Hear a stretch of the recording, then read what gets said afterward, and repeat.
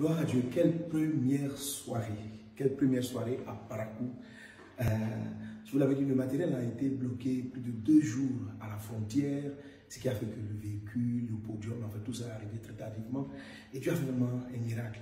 Parce qu'on ne savait vraiment pas comment faire. Il faut une journée pour euh, faire le setup, pour tout installer.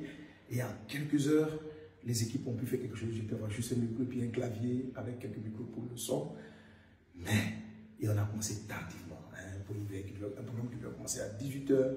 On se retrouve à commencer à, on a commencé à quelle heure euh, à presque 22h. Presque 22h. Dans un, 21h et quelques, hein, 21h, 22h, en deux heures de temps, le nombre de miracles qui a eu lieu. Dieu a fait une concentration de miracles, de guérison et des milliers de personnes ont donné leur vie à Jésus. Jésus a toujours le dernier mot. Toutes choses qu'on bien de ceux qui aiment Dieu. Et nous bénissons le Seigneur donc pour cette première soirée.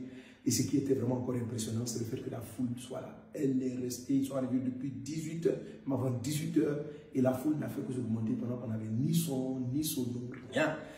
Ils sont restés, ils sont venus davantage, et on a pu commencer. Et Jésus a glorifié son nom. Des milliers de vies ont été sauvées, des chaînes ont été brisées, le nom du Seigneur a été glorifié. Soyez bénis. Donc portez, portez-nous en prière. On va commencer aujourd'hui. Donc on est, on est euh, jeudi, jeudi n'est-ce pas, jeudi 9. Et on va aller pour notre deuxième soirée de croisade. Amen.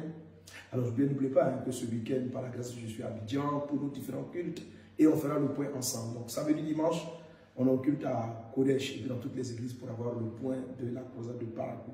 Continuez de prier pour nous, que cette soirée-là, tout le matériel installé par la grâce du Seigneur, que tout fonctionne bien, que les vies soient encore sauvées, qu'il y ait davantage de personnes qui soient impactées.